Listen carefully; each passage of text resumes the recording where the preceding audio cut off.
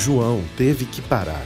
A saúde não é algo que se brinque. Nunca me senti tão impotente, galera. E só de varrer ali, de tirar os cocô das cabrinhas pro lado ali, já começou a me doer o peito, sabe? Da cidade para o campo sempre haverão problemas, dificuldades e momentos em que todos serão testados até o limite físico e emocional. O Antônio tava com febre e o Gabi com febre também. O aumento do número de animais trouxe um desconforto para o momento que a família está vivendo. Por isso, precisaram prender as galinhas para manter a organização e a limpeza do acampamento. A gente tá com um problema aqui, porque agora a gente tá com muita galinha e elas estão cagando demais aqui.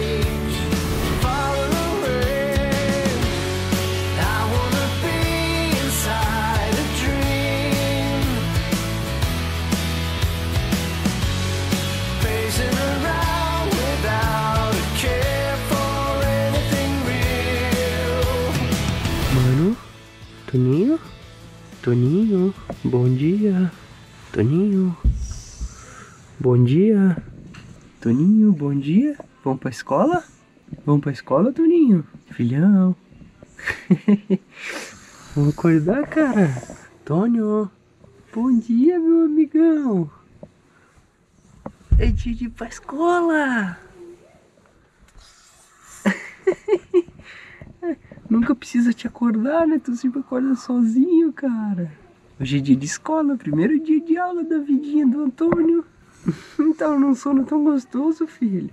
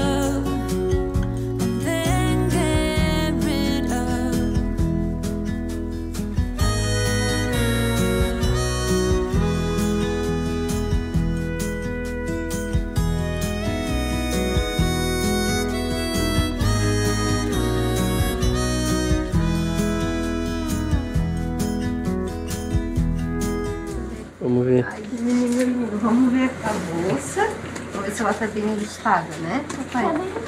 Deixa eu ver. Vamos ver se tá tudo certo. Uhum. E aí? Deixa eu ver aqui. Uhum. que lindo! Deixa eu ver se ele tá gato. Vai dar um passo pra trás, hein? Caraca, meu irmão! Primeiro dia de escola, Vai ter recreio. vai ter recreio. É que é legal. A mãe vai bater foto também, né? Bate uma foto pra mandar pra família toda, Manda pro aqui, ó. vovô e pro vovô, as vovó. Que é só uns minutinhos a gente já vai estar lá. Aí você vai me largar lá? Eu vou deixar você lá. Mas você vai ficar me esperando rodeando. Ah, é, eu posso esperar lá até você tá tudo bem lá e você se sentir confiante. Não, não. Até terminar a aula. Ah, tá bom. Tu, tu quer que eu espere o primeiro dia lá até terminar a aula? Ah. Uhum. E eu depois eu vou cortar o cabelo. Ah, é? Então toca aí, cara. Primeiro dia, tá preparado, meu irmão? Quase que eu caio. e olha, eu vou tirar aqui. Ah, tá. Tem, tem uma garrafinha de água. Toma aí pra galera ver como é que é. Ah, entendi. Ah, eu acho que vai ser um pouco me botar minha mochila e engançar. Será? Não, deve ser da tua altura, cara. Não se preocupa. A professora Na lá vai verdade, estar lá pra te eu acho ajudar. que eu vou ter ser maior. Eu acho que eu vou ter passado o ganchinho. Tu vai passar do ganchinho de Eu tão grande que tu acho. tá? Eu acho que sim. Porque as outras crianças eram um pouco mais pequenininhas na sala. Ah, então tá. Eu acho que o ganso delas é um pouco mais. É do tamanho delas. E o meu tamanho é o dobro delas. Ah, então tá A mais linda do mundo. Seu lindo. Coisa... Olha só, gente. Ai, que legal. Meu Deus, quem acompanhou desde o nascimento do Antônio no canal até agora, meu Deus do céu, como tem que estar. O Tatá, cadê o Tatá? Meu Deus, tá, tá, tá tudo sujo de ovo. Tá, Comeu os ovinhos. Então, partiu a escola? Vai. E aí, meu, prontos pra ir? Eu tô com medo. Tá com medinho? Ah, é normal. Eu também senti medo do primeiro dia de aula. Eu não sabia o que ia acontecer, né? Depois a mãe não queria sair mais da aula. Então vamos lá. Chegamos. Ai, pode botar. Ai, deixa eu botar aqui a tua, a tua aguinha de volta que tu tinha pego. Máscara. Tua máscarazinha. Meninas já entraram lá na escola? Será? Chegamos finalmente. Vamos lá? Meu pai vai lá é a contigo. minha pô. Vamos lá conhecer tua pro, então. Mas o nome dela é Daisy. E aí, vida? Fiquei assim, porque eu não pude dar tchau pra ele, porque eu achei que podia entrar lá dentro, né, pra ver a pro, mas não pode, tem que ficar na porta. Ai, que horrível isso. É, né? Muito ruim. É, ta- também achei estranho. A gente É, a não pôde. não se despediu antes, né? É, ele foi até ali, daí já empurraram ele pra dentro. Qual que é, qual é a, a sala e tal? E. A gente não sabia que não podia. É, daí ela foi assim, daí já a outra pro já pegou ele já foi pra dentro assim, mas eu acho que. É, Ele vai É a tirar gente letra, que né? tá fica assim, mas ele acho que tava tão ansioso que. Tá. Ah, é. O Antônio vai. É. Bora pra casa, Gabi? Agora é só nós três de manhã. Gabinho. E aí, galera? Olha só, agora são 9 e 10 já, praticamente metade da manhã, e a gente só fica pensando, tipo, como é que tá será o Antônio, né? e é o seguinte, eu acabei de falar ali, fiquei até agora praticamente ali só resolvendo coisas ali com o pessoal da obra que tá trabalhando ali, né? Eles vieram hoje. Aí falando da hidráulica, falando da elétrica, é, algumas coisinhas que a gente, que eu queria que fosse feito ali e tal. E aí passamos, passei tudo pra eles, passei o nicho, passei o, ne- o negócio das portas ali, vai ter que quebrar um pouquinho em cima. Então já foi um monte de coisa. E eu vou ter que ir no material de construção, porque algumas coisas sempre vai precisando, né? Então eu tenho que estar saindo e voltando. E gente, às vezes vocês podem estar pensando, nossa, mas João sai e volta, né? Quase todo dia você tá indo e voltando, mas é que é assim mesmo, principalmente quando está em obra, a gente tá construindo um sítio do zero. Então realmente tem que, eu não posso deixar os caras parados, né? Então eu tenho que pegar material tal. Quero ver se hoje eu já peço a, a parte ali do filtro, da, do esgoto da casa, essas coisas todas, já vamos pedir pra ver se essa semana já vem pra instalar também. E, e o, como é que tá o Antônio? Será a gente fica pensando nisso. E o Antônio, ele nunca ficou assim, né? Ele nunca foi pra escolinha, ele nunca ficou em creche. Sempre a gente que levou ele até esse momento. Então por isso que a gente fica meio apreensivo, assim, né? Vou colocar o bujão no carro também, que eu vou, vou ter que ir lá pegar, encher esse daqui, né? Eu vou botar também o, o galão de combustível que eu tenho que pegar uma gasolina lá, que não tem praticamente nada. Ah, é, eu vou levar o lixo também. Era pra ter vindo o roçador agora, de manhã, ele não veio. Veio nove e pouco, achei que talvez ia vir ali perto das oito. Mas às vezes, às vezes tem, ele tava fazendo uma cerca, um outro vizinho também ajudando lá. Aí talvez não tenha terminado. Ele disse que eles, ele falou que eles iam terminar sexta-feira passada. Daí acabaram, não, acho que não conseguindo terminar, certo? E hoje ele foi lá trabalhar lá. Gente, estamos indo agora numa atrás de construção. Vocês não têm noção de como é esquisito entrar no carro, botar o Gabriel na cadeirinha e o Antônio não tá junto, Gente, porque Pra vocês terem, cortejão, pra vocês terem uma noção, o Antônio nunca ficou com ninguém, né? É. É. Só com o vô e com a avó, mas tipo, não chegou a ser um dia inteiro assim, nada, né? É. Meu Deus do céu, gente. É, estranho. estranho, parece Fico que, imaginando tipo- vo- vocês que deixam o filho bebezinho, né? Imagina a dor no coração. Agora me coloquei no lugar das mães, assim. Meu Deus, embora o Antônio seja grandão, a gente sabe que ele vai gostar e a gente que fica com saudade, né? Depois passa também, né? Ai, meu Deus do céu. É, mas é uma sensação estranha, assim. Eu fico até pensando, porque ele tá. E a gente não pode nem conhecer a professora, isso é muito, muito esquisito, assim. Meu, na nossa época tu ia lá É. dentro, tudo. Imagina, até no berçário é assim também E, agora. e, e a gente, ano passado, final do ano passado, a gente foi lá, conheceu a professora, mas daí mudou. Então não é a mesma que a gente conheceu, então não é nem na mesma salinha e tal. E a gente fica pensando assim, nossa, cara, a gente deixou com uma pessoa que a gente nem viu a cara dela. Tipo, ele entrou assim, porta dentro e foi lá pra dentro. É. É, isso que é estranho, eu acho que a gente tá assim um pouco, sabe? Mas fazer o quê, né? Esses são os novos tempos, né? mas é, mas, estranho. Mas tá errado, tá errado. né? É, tudo bem que é, é- faz parte, não sei o quê, mas isso não é um processo que seja Não é só. Eu não acredito que seja saudável, natural. É, é muito esquisito. Eu acho que esse Tem pra... É, isso aí é complicado. Mas eu acho que. é- Mas, ainda essa semana eu vou lá, nós vamos conhecer, vamos com o tempo. Tem que chamar lá, trocar uma ideia com a professora. Eu acho que tem que É ter essa aproximação. a Acho que, e, e o primeiro dia, tá- É a gente viu crianças né? pequenininhas, assim, meu, muito pequenininhas chegando. Assim, falando, Nossa, cara, como é que é essa criança. Ah, ah, tipo, a criança entrando porta dentro, assim, até a secretária que tava ali recebendo, ela falou assim: Ah, você sabe qual é essa sala? E a pequenininha assustada fez assim, não sabia, tipo, totalmente perdida, assim. A irmãzinha, né, que tava junto. É, não sei se era irmãzinha, mas tinha alguém meio junto, assim, só que, tipo, cara, é muito esquisito. Primeiro dia de aula, assim, eu acho que é esquisito, é esquisito. Eu não sei, eu não tô acostumado com esse processo, assim. Mas, enfim, acho que ninguém nunca tá, né? E aí, cara, me conta! Gostou do primeiro dia? Você tá cansado?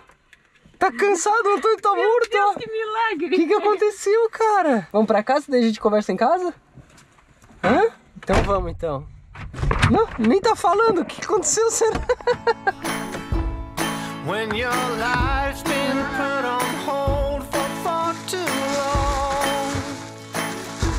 Ó, galera, tive que buscar umas coisinhas lá no material de construção, né? E eu peguei, aproveitei já peguei o sombrite pra botar em cima do galinheiro, que as galinhas estão fugindo lá, né? Pra ver se de tarde eu coloco. A gente chegou em casa agora e a gente foi pra um lado pra poder pegar coisa de material de construção e tal. Aí a gente já pegou o Antônio na escola. E a Dai chegamos lá 15 minutos antes, ficamos já esperando. A gente aproveitou pra ir no material de construção. E aí agora a gente tem que ir pra, pro outro lado pra poder vacinar o Gabriel, que a gente precisa dar vacininha agora de tarde nele, que já passou, na verdade, umas quase duas semanas já da vacina de rotina dele. A gente tava em Jaraguá e daí foi e voltou. E daí não deu pra ir na semana que era pra dar vacininha, então a gente tá duas semanas atrás, a gente precisa ir lá vacinar ele, que é vacina de rotina, né? Aí eu já vou ter que também ir na outra cidade buscar uma que faltou dois, duas pecinhas da água quente para terminar ali o trabalho da água quente, que foi um registro e mais uma outra pecinha, que infelizmente isso acontece, né, galera? É obra. Enfim, daqui a pouquinho eu já vou falar para vocês o que, que o Antônio falou sobre a escola, esse primeiro dia dele. E é isso aí, beleza? Vamos lá levar isso aqui pro pessoal lá poder trabalhar. Depois eu já voltar. Eu esqueci de pegar o combustível também, deixa eu até anotar.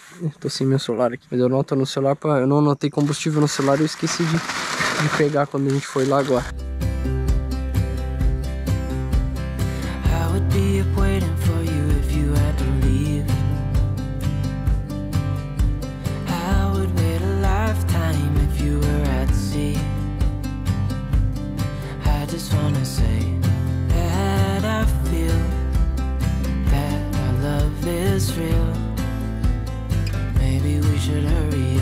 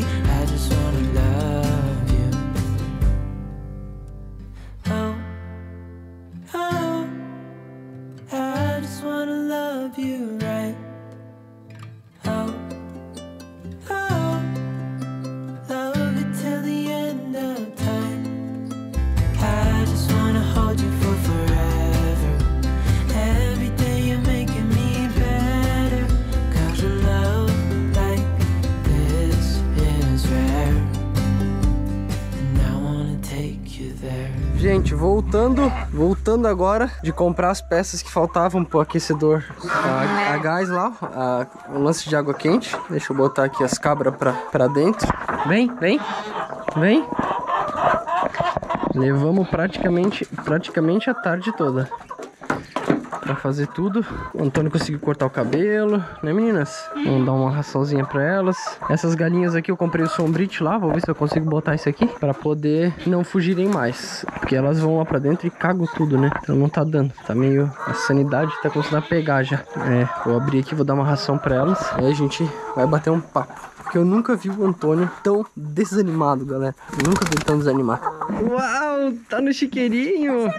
Descalço. Tá de... o cabelo cortado? Nem mostrei como ele tá, deixa eu ver. Pode brincar. Olha como ele tá gato. Eu tô com dor de barriga porque eu comi bolo. Ah, tu comeu bolo? Eu tô com dor de barriga. Ah, é? Você hoje ganhou, porque como depois do, do cabeleireiro a gente é, abriu uma exceçãozinha porque o Antônio queria, tipo, muito comemorar que foi o primeiro dia de aula dele. Ô filho, conta aqui como é que foi seu primeiro dia de aula, conta pra gente. Foi. Tá se batendo. Ah, Ele pode falar, Eu pode, não falar, pode contar. desabafar, pode contar das Eu não coisas. quero contar. Filho, é importante pra gente ter registrado. Esse só você vai ver daí. como é que foi? Então, tá, então deixa eu te perguntar assim. Quantos, quantos coleguinhas tinha na sala? Eu não sei. Tu não lembra? Eu não contei. Tu não contou. E como é que ficou- você brincou com eles? Como é que foi as brincadeiras? Foi legal. O Tu não quer contar mesmo? Então tá bom, não precisa contar então. Aí galera, ó, chegamos aqui à residência da família X. Olha lá o que os caras fizeram hoje já, ó. Já botaram os tijolinhos ali, ó. Estão fechando aquela parte de cima ali, tá vendo? Tá ficando bem legal. Aqui, as partes de tomadas, ó galera, ó. Já estamos com várias tomadas instaladas. Hoje eles pegaram aqui pra fazer. Aqui no quadro aqui a gente deu uma, uma pegadinha também, uma terminada na verdade, tinha ficado algumas coisas. Não tinha instalado o, DPS ainda, né? Ele tava só com o DR instalado. E aí acabamos de instalar aqui essa que eu dei uma ajudada pra eles, passar um o que que era, como é que fazia. E aí vamos ver aqui mais aqui, aqui para trás também, que tava todo aquele cano aqui, ó, exposto, né? Então já foi rebocado também, já foi deixado uma tomada aqui para máquina de lavar, que vai ficar aqui fora. Aqui para cá já já foi terminado algumas coisas. Aqui, ó, a casinha do gás também foi rebocada. Quer ver? Ó, aqui ela tá rebocadinha aqui, algumas coisas ainda faltam uns detalhezinhos, falta a laje em cima. Essa parte aqui, ó, eu pedi para eles alterarem umas coisinhas aqui também. Ainda vão fazer as modificações, foi o que eu fui comprar hoje lá. Registro para água quente, é, água fria aqui, vamos fazer umas substituições. Eu já tô deixando tudo espera, galera, para colocar um boiler lá em cima com aquecimento de água solar, tá? Mas por enquanto a gente vai fazer primeiro o a gás, eu acho que eu já falei isso para vocês, e depois a gente faz o solar, porque o solar vai gastar praticamente 5 mil reais e o a gás aqui a gente consegue, menos de mil a gente consegue instalar e deixar funcionando. Aqui vai os dois bujão de gás, aqui ele já colocou também a, a caixa do aterramento ali, ó, tá vendo? Já tem a caixinha do aterramento passando ali, aqui vai sair o, o encanamento e por aqui vai. Oiê!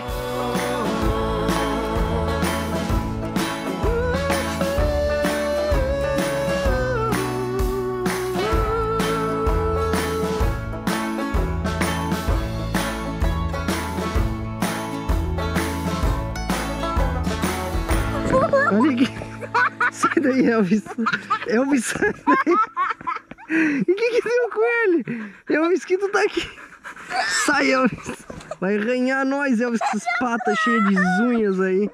Não é, Gabi? Não é pra lamber o Gabi. Não é pra subir com as patas, não, Gabi. Gabi, ele vai te arranhar, Gabi. Não, saia pra lá, cachorro. Saia pra lá, Elvis. Saia. Saia. Elvis, que louco, que louco. Ó, que louco. Eu tô rindo aqui, tá muito engraçado, Ele velho. quer, ele quer morder meu braço. Ele quer Eu morder tô meu achando muito Tá engraçado achando- isso. Ó, agora deitou. Filma ele aqui, ó. Pronto, pronto, pronto. Ele lambeu minha mão. Eu tenho que brigar com ele pra ele ser... Ah. Ó, ficou louco. Ó, ficou doido. Olha lá, olha lá, olha lá. Filma ele, filma ele, filma ele. Meu Deus do Cadê? céu. Tá ali. Meu, que louco, né, Gabi? Gente, olha aqui. Parece que esse ser humano nem tomou uma vacina hoje, né? Ele foi lá, tomou a vacina de nove meses, que era de febre amarela. E aí tá aqui, ó. Oi? Levou a vacininha no braço. Oi? É? Oi, gente. Hum? Tá com o cabelo cortado. O pessoal sabe já, a gente já falou. Eu acho que o Gabi tá cagado. Será que ele tá cagado? Não é possível. Você tá cagando. Ai, vamos fazer essa missão. Árdua missão. Vamos ver então se ele tá cagando. Fabinho, Tá vamos... epilepse? Não. Ah, estão escutando a gente? Então... Não, não tá. Ah, ainda bem. Finalzinho da tarde agora, tô indo ali na casa. Olha que lindo esse entardecer. E é o seguinte, eu e ela, a gente tava. Hoje foi um dia que eu e ela conversamos muito, assim, sabe? Sobre isso que aconteceu hoje, que foi o primeiro dia na escolinha do Antônio. Aí eu e ela a gente ficou conversando sobre se a gente deveria colocar, né, a nossa. expor a nossa posição, a nossa visão, a nossa, os nossos ideais, o que a gente percebeu com tudo até hoje em relação à educação é, e as decisões que nos fizeram chegar até aqui em relação às decisões do Antônio, da vida do Antônio em relação à educação dele. E a gente sempre leu muito, pesquisou muito, porque a gente acredita que criar um filho hoje tem tanta, tanto conhecimento aí, né? Tantas, tantos ensinamentos que a gente pode seguir de várias formas, de vários, várias linhas diferentes que a gente pode acabar buscando. E óbvio que isso tudo é, um, é uma salada, né? É uma salada de tudo que a gente acredita, de tudo que a gente já viu, viveu, leu e aprendeu. Eu vou sentar aqui agora, trouxe a cadeira aqui, vou sentar aqui agora a gente vai bater um papinho rapidinho aqui na varanda da casa e contar pra vocês como que a gente vê isso tudo. Tá ficando escuro, então eu vou tentar ser breve pra vocês conseguirem me enxergar. A gente não tinha colocado o Antônio na escola até então, porque eu tenho comigo que quanto mais tempo a criança passar com os, os seus pais, com seus, né, com seus, com a sua família, com quem cria ela, mais ela vai conseguir absorver os valores e mais ela vai conseguir aprender a essência do que a família é. Eu não julgo de forma alguma, não, não entendam mal quem por algum motivo bota o seu filho na creche, bota o seu filho na escolinha, enfim, e antecipa isso. Não é, eu tô falando do que pra mim é verdadeiramente importante e relevante. Porque eu acredito que a coisa mais importante que eu posso fazer na vida e eu posso ter na vida são os meus filhos, né? É, é, é o que fica de mim pro mundo, né? O que eu passo pra eles e é o que eles vão, que vai adiante de mim. É um pensamento mais egoísta possível, é isso. É o que, o que eu posso entregar de melhor de mim pro mundo são os meus filhos. E é com certeza a parte mais importante da nossa vida, que é o nosso legado, né? O que fica pra prosperidade. E a gente ah, sempre acreditou que quanto mais tempo eles conseguirem ficar com a gente, mais eles vão absorver isso da gente. E que, me entendam bem, e que não é a coisa mais importante que você pode proporcionar pro seu filho é um, um ensino precoce. Eu acho que tem tantas coisas que a gente pode ensinar para as nossas crianças convivendo com a gente, com os nossos filhos, que a gente não precisa colocar o nosso filho na escola com 4 anos de idade. A gente acha que é super cedo, principalmente pela segurança, porque a gente hoje vive num mundo, não só hoje, mas sempre foi assim, que é- as pessoas são muito complicadas. As pessoas, elas muitas vezes são crianças, né, são adultos com dores de crianças. Então, às vezes elas não conseguem transparecer para os seus alunos, para as crianças onde elas vivem, uma maturidade para conseguir entregar isso, né? Entregar essa, esse entendimento que a vida adulta nos traz. Então, assim, vive sempre num mundo de pessoas, de crianças feridas que não têm resolvido bem as suas vidas. E isso, por que, que eu tô explicando isso? E por que, que a gente tá, que, que eu tô falando isso? Porque é o que a gente acredita. Porque muitas vezes isso pode fazer com que essas crianças adultas feridas e não bem resolvidas transfiram pros nossos filhos os seus problemas, os seus fardos, as suas indignações e tudo que acontece na vida. E isso é inevitável que durante a vida as pessoas façam, né? Isso aí é normal. Só que quando a gente faz isso com uma criança que tem menos de 6 anos, às vezes a criança não consegue entender e não consegue discernir o que é normal e o que é esquisito. Vou dar um exemplo. Se eu hoje, o Antônio tem 5 anos e meio. Quando ele chegou da escola, a gente conversou com ele, ele ele tava um pouco desanimado por uma série de coisas que aconteceram lá. E aí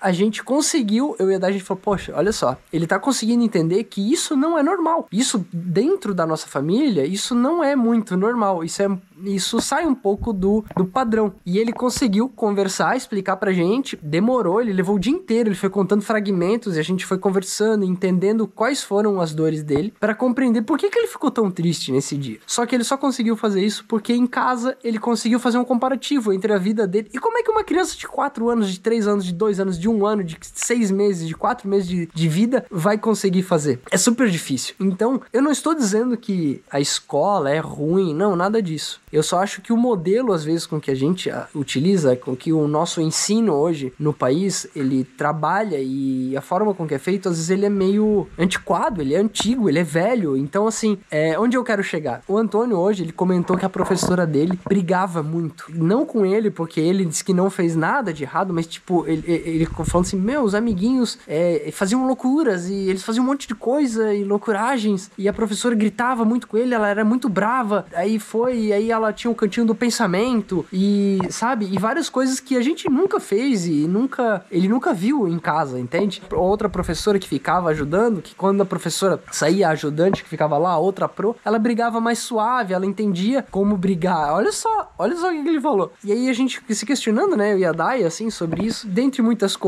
né? Eu não tô vindo aqui falar, né, reclamar, não é isso. É só porque isso foi uma. Como se eu estivesse validando, né, essa nossa percepção de que, tipo assim, poxa, olha que interessante. Ele conseguiu explicar, ele conseguiu se, se traduzir os seus sentimentos, né, do que ele sentiu, do que, como foi. Ele, ele não falou em momento nenhum, ah, aquela professora é chata, a professora é ruim. Ele, ele falou dos sentimentos dele. Ele falou, nossa, a forma com que aquela professora gritava demais, sabe? Então, para o que era, o que ele sentia daquilo. Então, isso foi a coisa mais importante que a gente pôde tirar desse dia. Esse processo nosso de ter chegado lá na escola e ficamos perdidos, e na hora de, de ir embora também, não houve nenhuma orientação, não teve, sabe, nada assim, tipo, foi uma coisa muito. Isso acho que pode variar também de acordo com cada situação. Para resumir, a gente não colocou antes, porque a gente acredita que é muito novo, e acho que ainda assim o Antônio com 5 anos e meio para 6 anos, acho que 6 anos é uma idade boa na primeira série. Eu acho que tudo antes disso pode ser por necessidade, por comodidade dos pais ou por situações em que os pais precisam colocar os seus filhos automaticamente. Todo o sistema precisa acolher, né, essas, essas necessidades das famílias como um todo. Automaticamente, a gente sabe que às vezes por necessidade mesmo, né, algumas pessoas fazem isso. Outras porque em casa não tem o amparo, né, necessário para a família. Aquela criança não tem, né, o, o amparo da família necessário, porque não são todos que têm essa visão que a gente está tendo, não que eu tenha a, a visão certa nem nada do tipo, mas eu acho que a gente estuda muito sobre isso. Então eu posso dizer que é algo que nos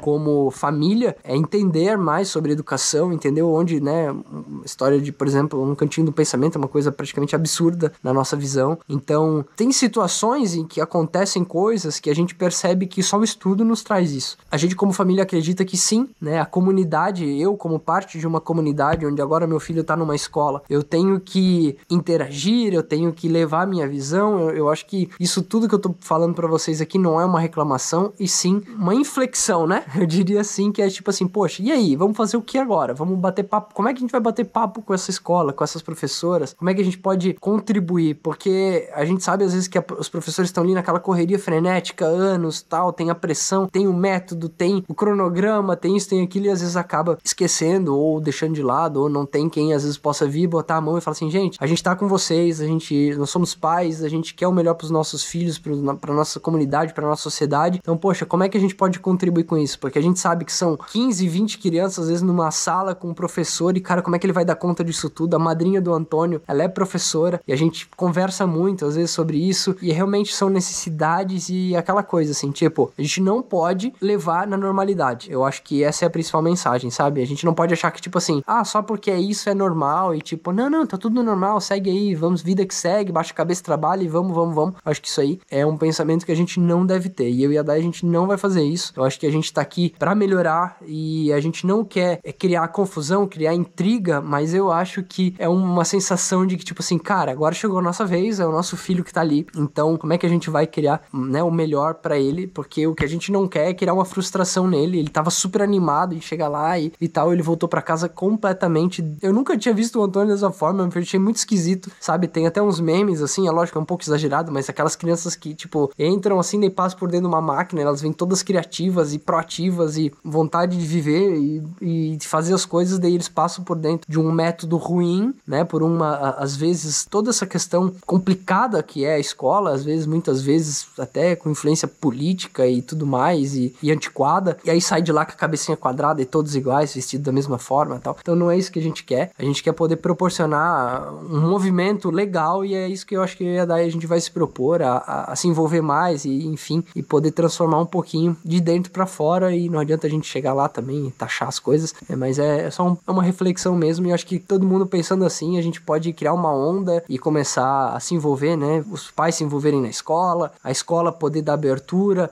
poder entender um pouco melhor, estarem dispostas talvez até a, a entender que às vezes o método é antigo, a, a, é, coisa toda pode ser diferente. Sim, a gente pode trazer e trabalhar a quatro mãos. Acho que essa é a, é a grande mensagem. E é isso, galera. Valeu, é, falei bastante. Se assistiu esse vídeo até o final, final, comenta aqui embaixo o Antônio agora na escola, pra gente realmente saber se você assistiu esse vídeo até o fim, porque o importante é a jornada, como a toda salada, divirta-se. A gente se encontra amanhã. E isso aqui agora, de vez em quando, vai ser uma coisa que a gente vai estar conversando com vocês, porque a nossa vida é o que a gente vive, é a nossa, é a partilha do nosso, das nossas experiências. Beleza? Valeu, desculpa se tá escuro aí, porque anoiteceu, tamo por aqui e a gente se vê amanhã. Valeu e fui! Gente, e só pra deixar claro, obviamente que não é em 10 minutos que eu vou conseguir explicar tudo, os, todos os nossos pensamentos e tudo como que a gente acredita que as coisas poderiam ser e como a gente quer, como a gente vive a nossa vida. Então é importante que, para você que assistiu isso, não se sinta ofendido, não pegue uma frase só ou uma colocação que eu fiz aqui e leve isso como a verdade absoluta do que a gente pensa, porque isso tudo tem várias conexões, né? Vários pensamentos e, e conhecimentos que se conectam para às vezes a ideia ficar pronta. Então a gente também é, somos metamorfoses, a gente muda constantemente. Cada novo pensamento, cada nova estrutura, a gente vai reformulando as nossas ideias. Só para deixar claro isso, a gente sabe que cada um tem a sua forma de pensar, a sua forma de viver e a gente não tá julgando nenhuma delas. A gente só tá colocando a nossa e tentando fazer um pouquinho diferente, né? A diferença aí diante dos nossos pensamentos e as nossas formas de viver. tá bom? No próximo episódio. Vamos ver se vai dar certo a nossa engenhosidade aqui para as galinhas não fugir mais. Meu Deus, a gente agora, nessa reta final, a gente tá tão ansioso pra essa casa ficar pronta. Seja membro assinante do canal e tenha acesso antecipado aos episódios.